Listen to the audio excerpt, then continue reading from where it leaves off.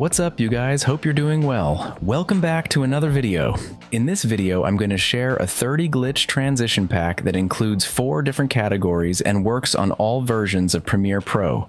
This pack is compatible with all resolutions, making it easy to use in any project. So without wasting any time, let's jump into the video, go to the link in the description and download the transition pack. If you don't know how to download and use these packs, I have already made videos on that. Go and watch those videos. The links to those videos will be in the description. Once the download is complete, extract the file and open your Premiere Pro project.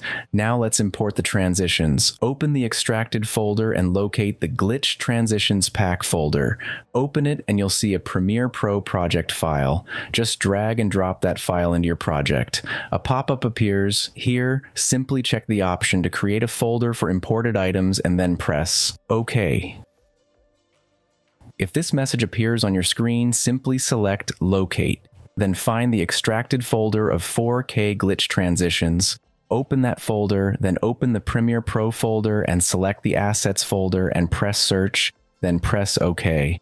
Now you'll find all the transitions neatly organized in a folder inside Premiere Pro. To apply a transition, open the Transitions folder and select the category you need. I have chosen the Noise Display category.